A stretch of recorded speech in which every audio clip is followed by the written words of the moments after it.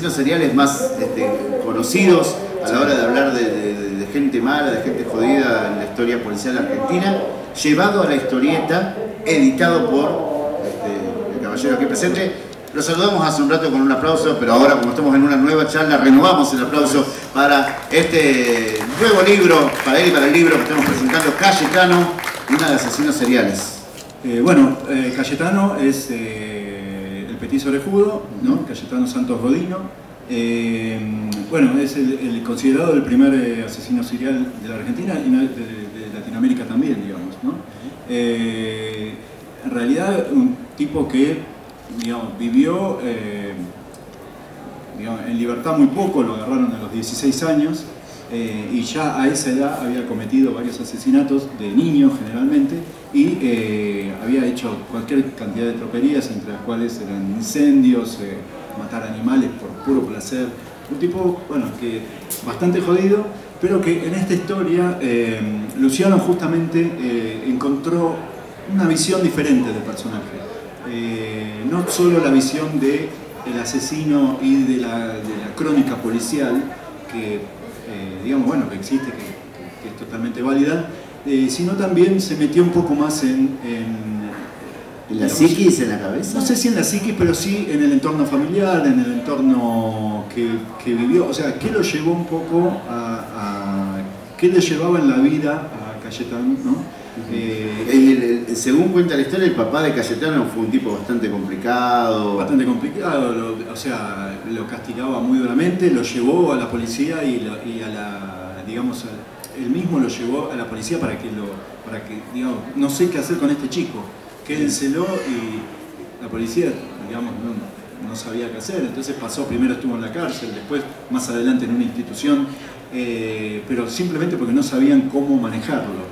Eh, hay una escena muy buena en el libro. El libro se publicó eh, primero en la revista Fierro, no se publicó completo, se publicó, digamos, sin todo el material que tiene el libro, digamos, hoy en día. o sea, se, publicó una versión.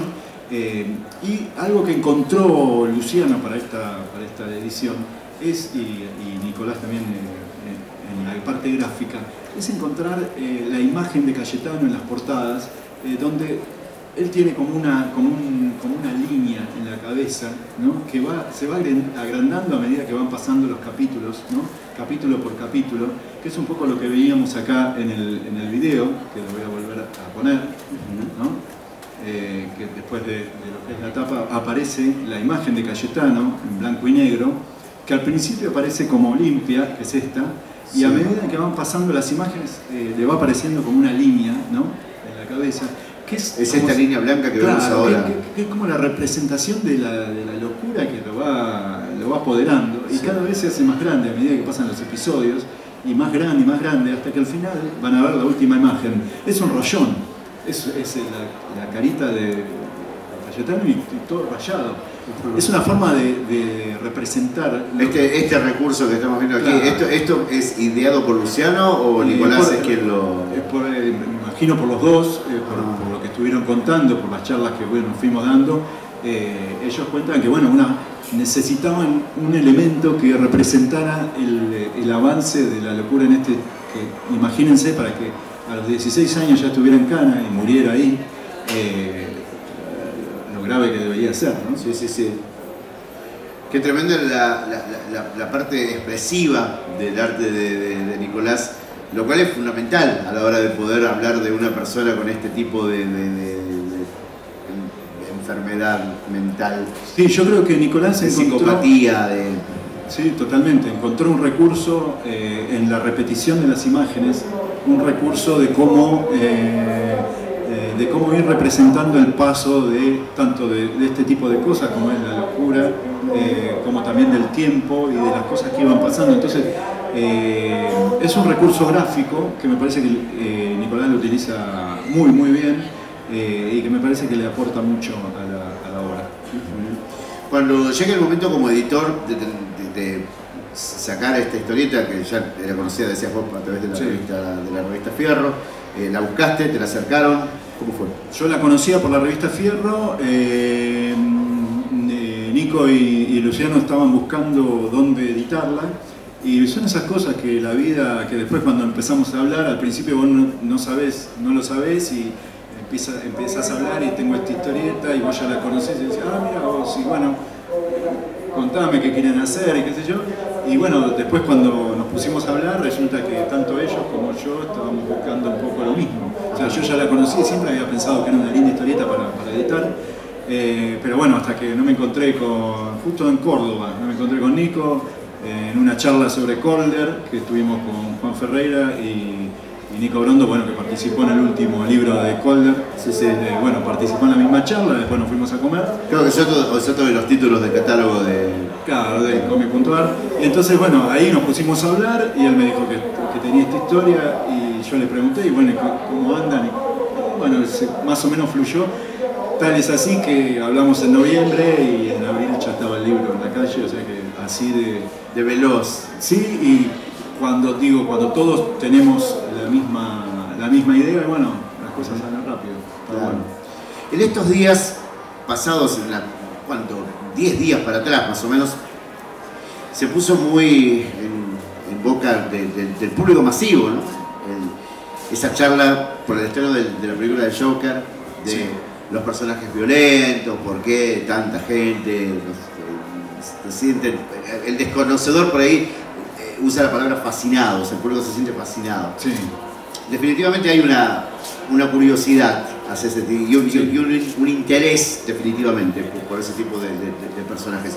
Este, sin lugar a dudas, es uno de los que despierta esa sensación en nuestro pago, ¿no? en nuestro país. sí, yo creo que sí. Sí, a ver, eh, podés tomar dos, dos posiciones con respecto a eso, que pasa mucha gente que dice, eh, el Joker, ¿por qué un personaje tan violento? O sea, ¿qué necesidad hay? Porque, o sea, o ignorás lo que, lo que pasó y lo que pasa, o bueno, o lo enfrentás y lo tratás de la manera que, sea, que, se debe. O sea, decís, bueno, contás una historia, contás lo que pasó, eh, tratás de generar un mensaje, tratás de, de hacer algo con eso, ¿no? Eh, o bueno, decís, no, esto haces como si no hubiera pasado, haces como si no existieran personajes así de siniestros y así de violentos, y bueno. También, también puede tener que ver con una variante del género de terror, ¿no? De la misma forma, que, de la sí, misma sí, forma en la que a uno le gusta una historia en la cual hay un monstruo de fantasía, en la cual que hace cosas feas, Sí, de pero- repente tener a un, a un tipo Hay real, algo que no es igual, porque estos personajes existieron y existen. O sea, digo, Claro, no, no, no digo que sea igual, pero digo que quizás por ese lado puede estar la cuestión del interés del público. Ah, Bueno, si la pregunta va por eh, si eh, editorialmente buscamos un interés del público por eso, eh, me parece que en este caso era más por el personaje histórico que, que por eh, si el personaje bueno, generaba interés por la violencia por, por, digamos, bueno, nada, por, por el interés que genera esto. Nada, que es una cosa, bueno, te choca. Sí, sí, y está, y está, está bueno que se lo conozcan. Sí, está bueno para las nuevas generaciones y demás, está, está muy piola. Sí. Se sigue usando. Y vuelvo a, a- a lo referencial del norte, les, les contaba en la charla anterior que yo soy de Santiago del Estero, eh, se sigue utilizando la mención del petiso sobre escudo, que de repente cuando se lo dicen a, lo- a los changuitos, eh, se lo imaginan más como un duende quizás, Claro. y no tienen tan en claro que el hacer alusión al petiso sobre escudo es hacer alusión a un tipo malo que existió realmente. Claro, En ese sentido, ponerlo digamos en un formato de historieta está buenísimo. Como el hombre de la bolsa, digamos, nada más Claro. el hombre de la bolsa no existió. y el petiso de juego sí. Y el Petiso sí, de sí, Escudo. totalmente. sí, sí, sí, sí. Cuando uno piensa en la historieta policíaca, esto no es exactamente historieta policíaca, pero digamos es una historieta que puede estar lindante ahí con, con- con- Sí. con el género. La historieta argentina tiene, tiene un, un largo, un largo camino transitado. Sí. Y también un largo camino con bichos malos, en todos los ámbitos, pero hablemos desde lo del delincuente, digamos, ¿no? Este, ¿Hay algún proyecto parecido para que venga después? Eh, no, no exactamente, no, no, no. Entre los proyectos que tenemos, eh, mm, no, no tenemos historieta policial, eh, que ahora que lo pienso, la verdad que es una lástima porque es algo muy, muy interesante. Eh, a mí me gusta mucho el policial negro. Eh, crecí leyendo Dashiell Hammett, Raymond Chandler, todos esos, bueno, y muchos otros. Sí. Me acuerdo de la colección del Club del Misterio, que salía sí, sí, semanalmente, creo. ¿no? Que era de Bruguera, creo. Creo que era de Sí. Bruguera, es más, creo que mi viejo incluso los encuadernaba, porque se encuadernaban, eh, así que tengo, y leía muchísimo de eso. Y, pero, y me gusta mucho la historieta, la historieta policial también, eh, así que, pero no, no tenemos ahora un proyecto así de historieta, así policial negro, que estaría bueno. Estaría bueno, sí, sí. Eh, cuando hablábamos con la gente de Rapdomantes, hace un rato, eh, previo a, a que te sientes aquí, este, Tomás, yo le preguntaba a- al editor, que también es creativo, Sí. como, es tu caso, que eh, hasta qué punto si tiene que pensar en, en dónde se le, se le mezcla, el- el- hasta dónde el editor le permite al creativo jugar, laburar, divertirse. Estamos en, una, en un número redondo de la crack, así que aprovecho también como para que hagamos un poco de retrospectiva a la editorial, a tu carrera y demás, en, esto- en- en- en este tiempo que llevamos juntos haciendo cosas por la historieta. Está muy bien porque este año nosotros cumplimos 10 años como editorial. Ah, buenísimo. eh, Lo festejamos No a, a mitad de año, así que Un sí, aplauso por los 10 años de Comic.a. aprovecho